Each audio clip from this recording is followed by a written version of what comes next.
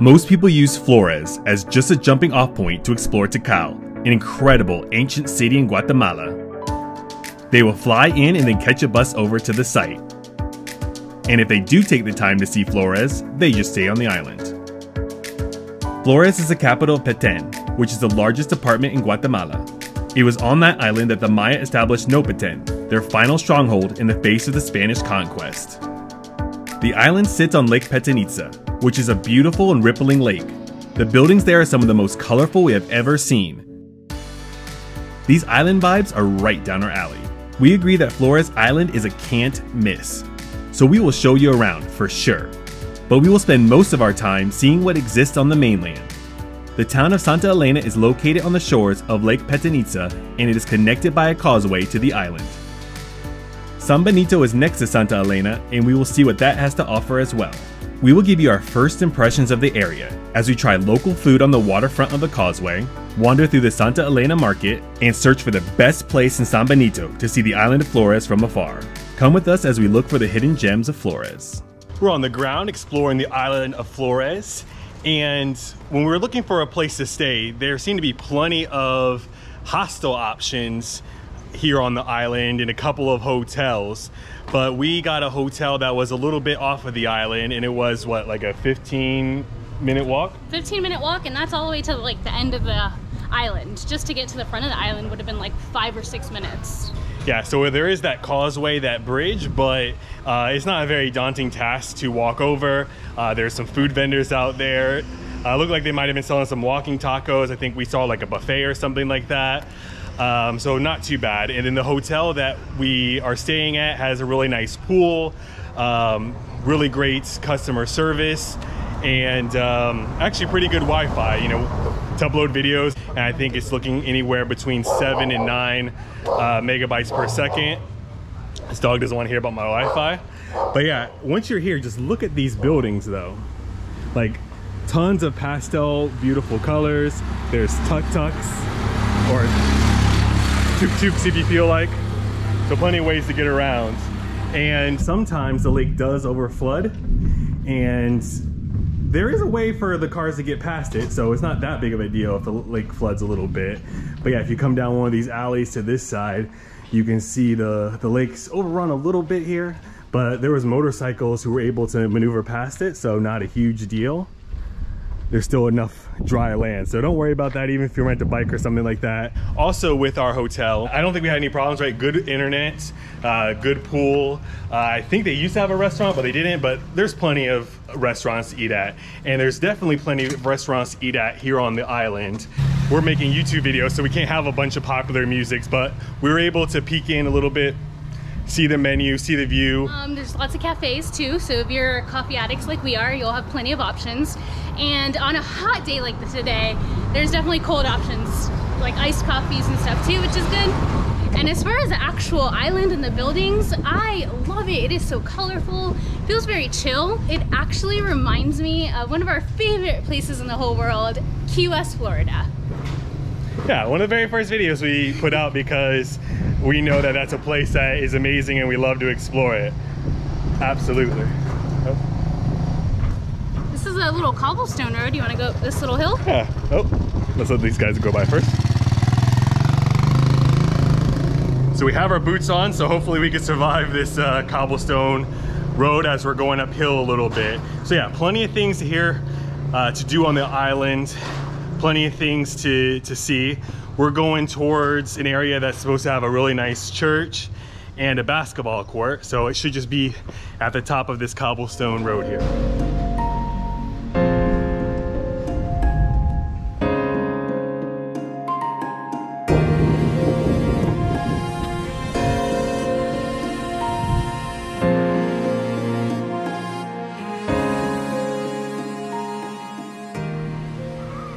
And there are plenty of flags up because we are here during the month of Independence Day. And if you haven't seen our Independence Day video, make sure to go check it out. We're at the cathedral in the center of the island. So we can see the view of the water in front of us. Well, behind the buildings. oh yeah, behind the buildings, I guess. You can see through the buildings. You can see through the buildings? yeah, sometimes. I have a statue here. Some kind of stone. Yeah. Something is uh, taken off on the billboard up there. Yeah. Just- I don't know if that's where they explain what this one is, but that's cool. And on their government building, like Yeah, the 201 years. Got this nice basketball court here. Heck of a view behind you if you're playing some basketball. there's a lot of little vendors up here. So you can get over here on this side. You have uh, tortas, tacos, quesadillas, um, fresh juices. We've shown you the main parts of the island, and we're definitely going to be back for golden hour and sunset, but we haven't seen any other videos or blogs about the mainland part here in Flores. So we're going to explore that, and then we'll return later on for golden hour. Te vale 10 la porción y te trae 5 tacos. Oh, no está no sé cómo lo. ¿Quieres guacamole? Ah, As we mentioned when we were walking around, there is a, a food area there with a what looked like a buffet, and they had tons of options. So we have this one right here with some salsa. Did she say it's picante? no. Okay, and then some uh, avocado or guacamole on top of it. It's a nice vegetarian option. There's potatoes on the inside, really nice crunch. Sauce is good, not too spicy, and always good to have some guacamole. These we had back in the city, and we've been looking for them every trip and everywhere we've gone to since then. These are rellenitos. From a distance, it kind of looks like a meatball, but this is uh, a plantain dessert with black beans in the middle and sugar on top of it.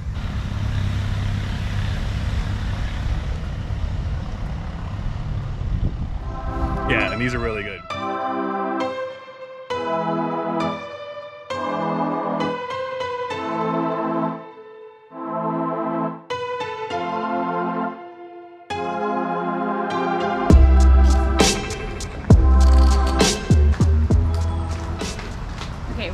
Little random shop off one of the side roads, and they have chocolate covered bananas as well as chocolate covered fruits and some other stuff. But I've been on the hunt for these for a while because I saw them a long time ago and I've been craving them. So let's get some. We are at La Casa del Choco Banano, which just means the house of chocolate banana. Look at that!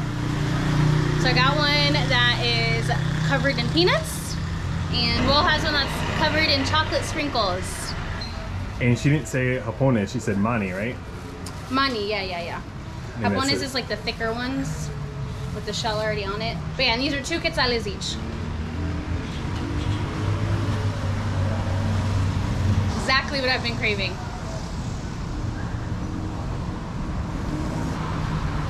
We walked down this road, but we were focused on uh, these fancy evening gowns, and we missed this market that we're looking for. Now we're gonna try to survive crossing the street and get into this market. Probably behind this one, right? Oh, Oh, no. All right, well, Okay. here we are. Disculpa. All right, he's creating a roadblock for us. Good job. All right, we did it. Did it. All right. Buenas tardes.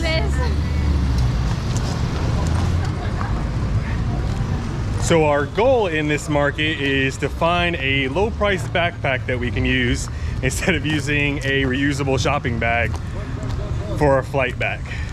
And it has to be small.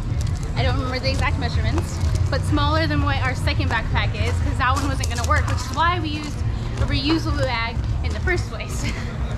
so, So let's see if we can find that and maybe a nice surprise something while here in the market. Hello. Hello, hello. Using her shoe as a phone, very innovative. Buenos tardes. And uh, this is also the market, well, this is also the market that our bus drove through, right? yeah. So we actually should probably be looking at where we're going because we don't know if a motorcycle, car, or a bus will be coming around the corner. There's a dog. Yeah, dog's okay. Perro wawa. El perro wow wow. Buenas tardes. Oh, look. A whole shop full of backpacks. Perfect. 125. 125. Mi amor. And there's Monster Energy Drink one for 40. ¿Eso también? Pero está a 110. Oh, no, no, 40. Ah, 90 te lo puedo dar. No, Hay otro color. Color ahí. What you eating there? Tostitos? They're good? Vamos a caminar mucho más porque no... Buen provecho, mi amigo.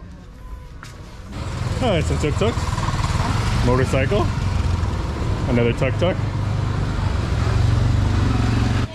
So you just didn't like that one because of the bright colors? Yeah, so the colors were kind of bright on that. It was like what blue with like a bright orange. Yeah. I'm never usually a fan of orange, so maybe if we can just get a basic black backpack for 40 quetzales, around five dollars, and then it would be good. I have no idea how we passed the market this huge, but it was like a hidden market. All right, here's some oh, backpacks. ¿Cuánto es este? 130. 130. Ay, no. Okay, gracias. He has all this specialty backpacks, nothing too simple. We found nothing on the outskirts, so now we're heading deep into the market. Ducking under beach towels. Yeah. Oh, look! We got some more bags. You don't get a concussion, you can find some nice bags. Like, how big does it need to be, right? Like That's this way big? too big. So something small like that one in the right, top right. Jean jacket one? No, the one next to it. Alright, Mimo, this one is 40. Similar to the other one, except it just has the fox now and the lime green. No, ese muy... muy- Los colores son mucho... Ah, muy fuerte. muy fuerte. sí, sí, sí. How much is this Che Guevara bag? El negro aguanta. I think I really have to support the Kobe brand. I don't think I can get a Jordan backpack. It does look the same size.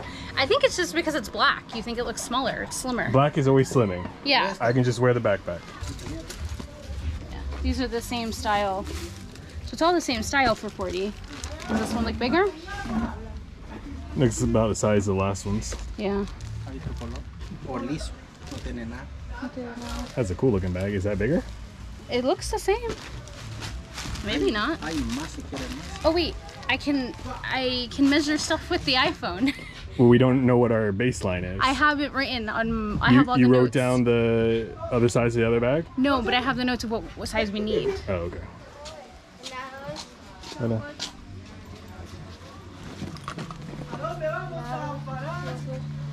Yeah, And at least it's all black. okay. And what's the price on that? ¿Cuánto ese? 40 40. Yeah, Alright. 40. We can do that. Okay. Sold. Got a bag.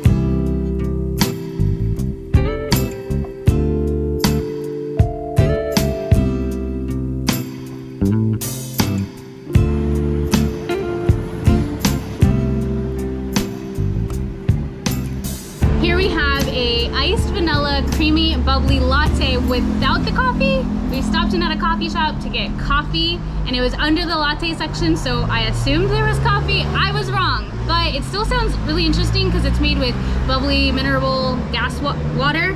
So let's have a taste. tastes like a cream soda. Here's our espresso shot. We got a side of espresso. Gracias.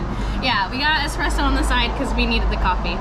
Um, I think she said I could just add it to it. I'm gonna ask her if I should add it. Si lo entro adentro, ¿se va a saber todavía bien? ¿O cómo crees? ¿No? No lo sé. Okay. I don't think that. I don't think you should. Un Then. vasito entonces para tomarme ¿Quiere otras. sacar un poquito o lo o quiere probar sacar un poquito y probarlo? Ay, no, es solamente para el espresso. Ajá, gracias. Alright. She does not recommend putting the espresso in the co- What? in this bubbly drink. Once I tasted it, I said I don't really think that uh, that would go too well mixed in with an espresso shot. No, It it, tastes really good. Yeah, it tastes like a cream soda, it right? tastes like a cream Yeah. soda. Let's not Sounds mess good. that up with uh, espresso. Ay, más. ¿Hay sugar? Gracias. No, no, azúcar está bien. Gracias. All right, that's uh, gonna be a little bit easier to drink out of Yeah. than the little t- tiny pitcher. Yeah. Hopefully, this doesn't taste awful back to back, No, not at all. and that's probably the reason they don't mix it together. But Yeah, it's good.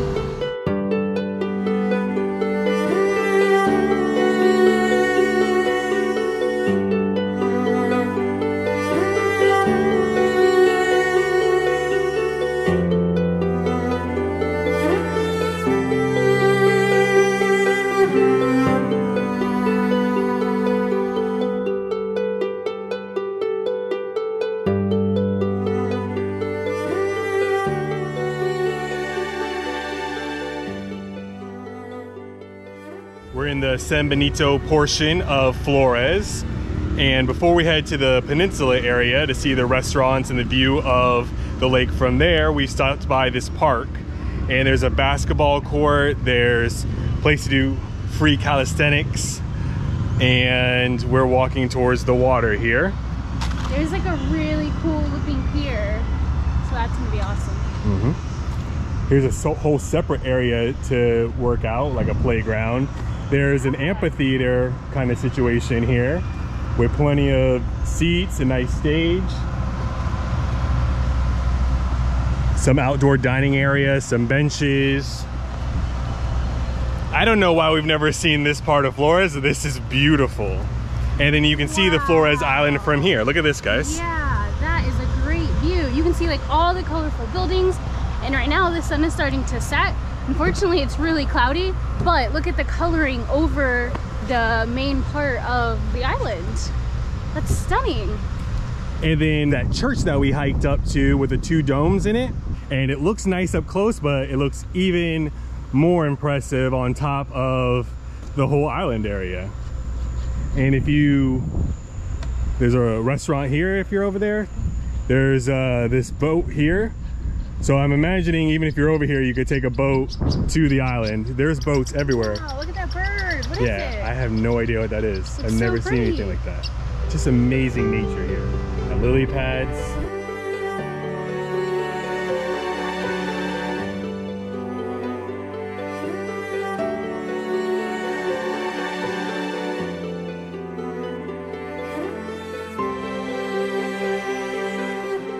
We've walked to the furthest side of the peninsula in Benito and it started to rain, but that's all right because we found this sunset bar with two floors on it. So we're on the second floor.